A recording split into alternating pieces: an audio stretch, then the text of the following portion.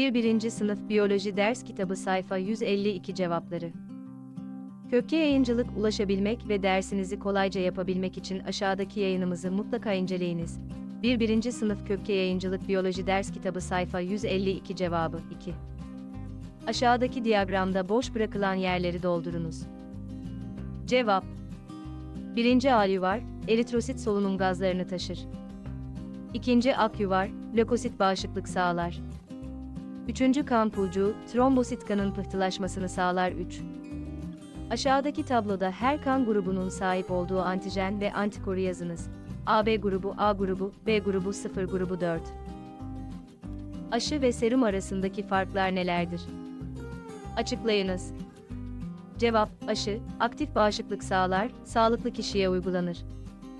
Koruyucu özelliktedir, uzun süreli bağışıklık sağlar. Serum, pasif bağışıklık sağlar. Hasta kişiye uygulanır. Tedavi edici özelliktedir, kısa süreli bağışıklık sağlar. 5. Anne çocuk RH uyuşmazlığının hangi durumda ortaya çıkmaktadır? Alınabilecek önlemleri araştırınız. Cevap, annenin RH, bebeğin RH olduğu durumlarda ortaya çıkar. 6. Dolaşım sisteminin sağlığı için nelere dikkat etmeliyiz? Açıklayınız. Cevap, yeterli ve dengeli beslenmeye özen gösterilmelidir. Düzenli spor yapmalı, temiz hava alınmalıdır. Aşırı stresten kaçınılmalı, stresle baş etmenin yolları aranmalıdır. Stres kalp sağlığını olumsuz etkilemektedir. Alkol ve sigaradan uzak durulmalıdır.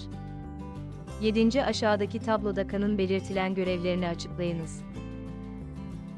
Cevap Kanın görevlerine ilişkin açıklamalar taşıma görevi.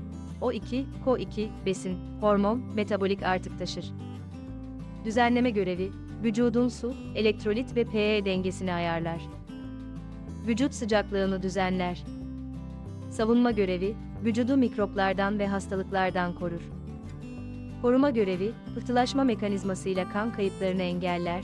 1. 1. Sınıf Biyoloji Ders Kitabı Cevapları Kökçe yayınları sayfa 152 ile ilgili aşağıda bulunan emojileri kullanarak duygularınızı belirtebilir aynı zamanda sosyal medyada paylaşarak bizlere katkıda bulunabilirsiniz.